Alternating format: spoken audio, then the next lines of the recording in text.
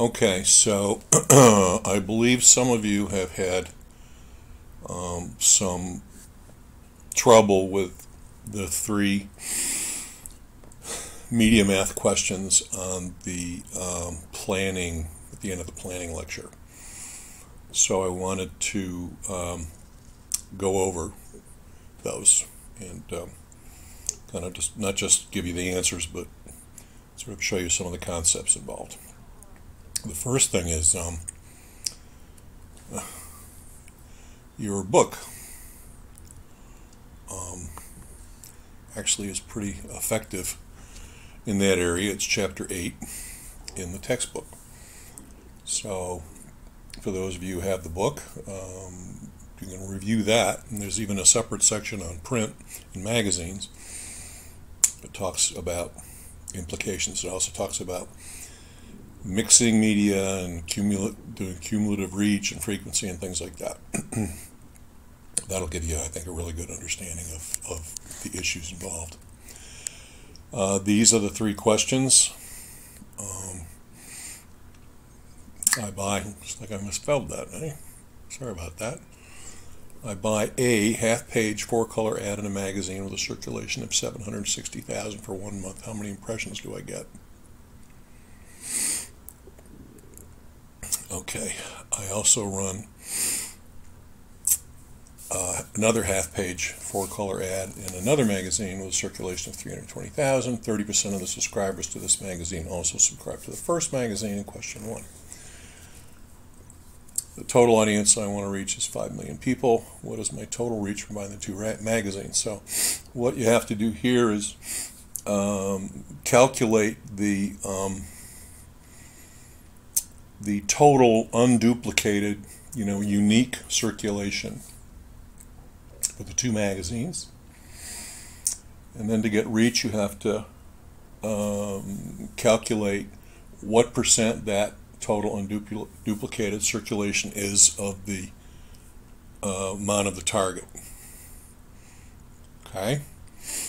And then for the frequency question, um, I always like to do visuals of things. I would draw one circle for to show the circulation of the first magazine, which would be a bigger circle, then a smaller circle for the second magazine, and then there's some overlap between the two magazines. And in fact, that's sort of the best way to visualize um, this whole problem is to kind of start by doing that and then thinking about thinking about things based on that. But that's the first step is to draw those two circles. So now I'm going to talk about um, some of these issues. So we're going to go back to something we have talked about, I think, pretty much all through the course. This particular chart was introduced, I think, in the first lecture. And we're just going to go over some definitions. So you remember an impression is one person seeing one ad one time. Reach is always a percentage. It's the unduplicated people who have seen your ad over a certain time period normally. Frequency is the average number of times each person has seen the ad over a four week period. Now, some people on an individual basis will maybe seen it 10 times. Some people may have seen it one time, but your average frequency maybe is four. Who knows? Okay, so different people will have different frequency, different times of seeing the ad, but the average is what you're looking for typically. Effective frequency is the number of times. Actually, we don't need to talk about that. It's there, but it's not involved in this question. Um, GRPs, uh, I don't think is involved in the question, but it's basically what you do is you take your reach, your reach is a percentage, and you just remove the percentage figure, okay, and take the reach as a whole number, not as a fraction, and multiply it by your average frequency, and that gives you your total gross rating points. TRPs are the same as gross rating points, but it's expressed as against your target. Circulation um, is in these questions. This is how many people actually for circulation. Um, you have subscribers and you have uh, pass along readership as well. Um, and uh, So that's what's used for circulation. Ratings aren't going to come up in these questions, but we do. I'm, I'm going to talk about it just a little bit uh, in this little review this morning.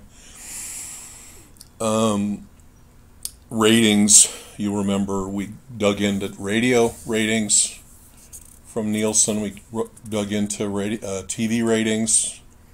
You know, so a program is measured. The the people who wear the people meters, you know, are tuned in, um, and uh, so uh, and it's a certain number of people per city, right? So it's a large sample size and some basic important demographic groups. There's large enough sample sizes of them too in each of these cities. And then um, what Nielsen does is they take the total population of the uh, of the um, market area that they've prescribed, um, the DMA, and um, they if you know a million people watched a program and the total DMA is seven million, then one over seven. So you know, that's your rating. So whatever that is, 12 something rating. So the rating is almost like a reach, really. It's the percent of the total audience that viewed the program. Um, Internet uses visitors to the website, and they're particularly interested in unique visitors. So, so how many individual people are coming to my site? You know, how many people am I reaching at least once? Okay, and you know that CPM is the cost to reach every thousand consumers. So um, now impressions, we've talked a lot about impressions this term, maybe our most important topic because you recall that we talk a lot about quality of impression in terms of, of uh, a big part of the explanation as to why some media cost more to be in. They don't cost more because they reach more people. They cost more because the because it's a CPM. It's cost per thousand people reached, so that's an equalizer there. Um, so the reason out of home media tend to be very inexpensive in terms of what it costs to reach 1,000 people is it's a short impression, typically. Particularly if it's on a, on a roadway or a highway, right? You drive by it quickly. So we, this is what we went through this year. But when you boil it right down as to what an impression is, um, one person seeing one ad one time, and so when you dig in, what does it mean to see or to be exposed to the ad? Well, and how is it actually counted? Okay, this is what we're getting at. We get at the real measurement. So, how do these measuring bodies, the, you know, the uh, um, Geopath measures for out of home, you remember, right? Nielsen measures for TV. It used to be the Audited, Audited Bureau of Circulation for print, but they've got a new name now that I can't even remember. How do the bodies that are responsible for measuring impressions for advertisers, so the advertiser can get a sense of what they're getting, how do they do it? Okay. And this is the area that you guys, I want you guys to think about and be, be hypercritical because someday you'll be spending your own budgets on these things, you know, probably not too long from now. You'll be responsible for delivering results for those dollars. And you don't want to buy into a bunch of BS numbers. You want to really have a good, realistic idea of what you're getting. Uh, okay, so basically, it's measured by it's the number of people who might might have had the opportunity to be exposed to a story that has appeared in the media. They're an opportunity to see. In reality, I'm wearing my people meter and I'm in the kitchen making a peanut butter sandwich while the ad's on during that 15 minute block. But the people meter says I was there. Okay.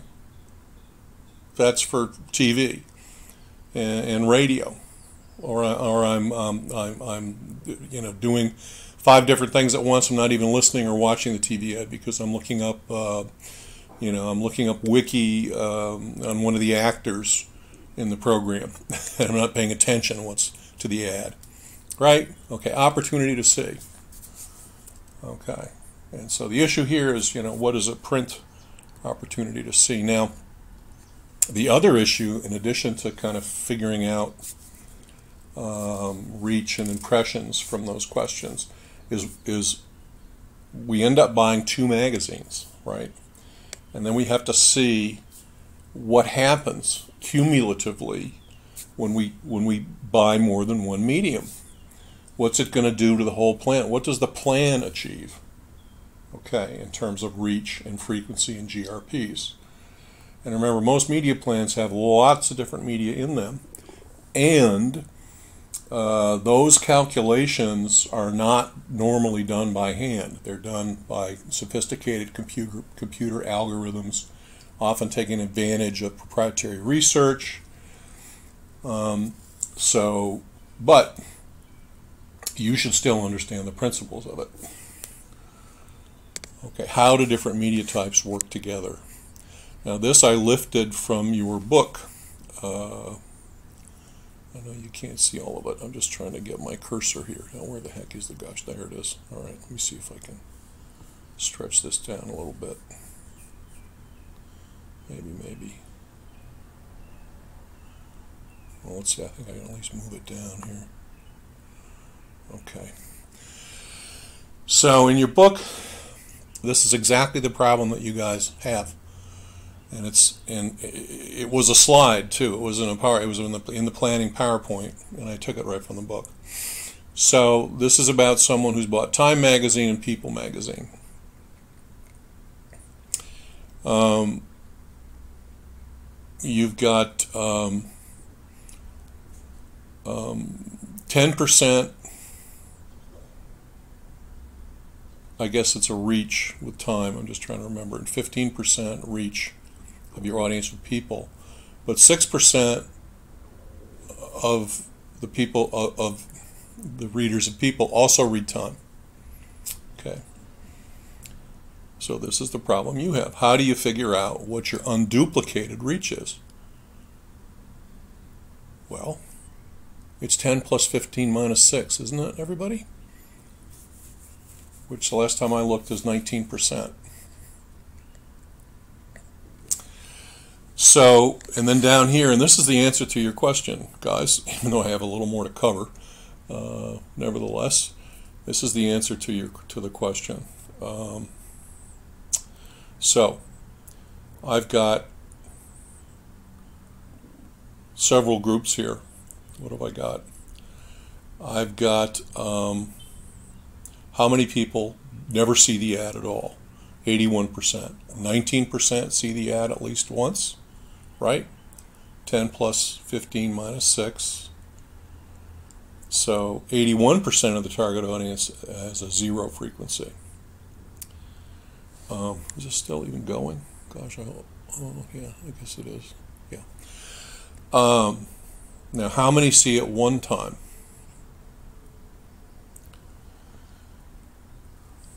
Um, they've got 13.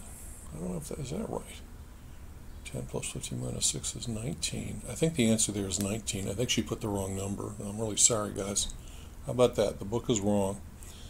19% then see it once. Oh, I, oh, sorry. Yeah, no, sorry.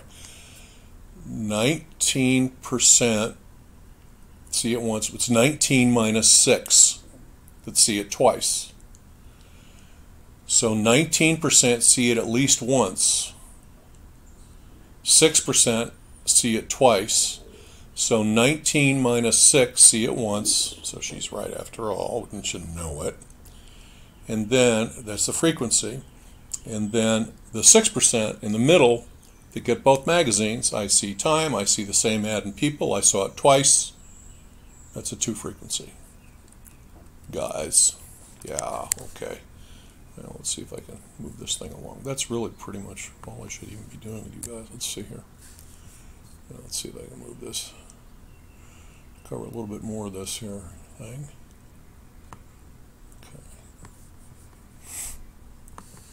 Okay. okay. Opportunity to see. this is a question on your TV exam. I think it was on the first TV exam quiz. There were two quizzes. This talks about um, what you do with ratings.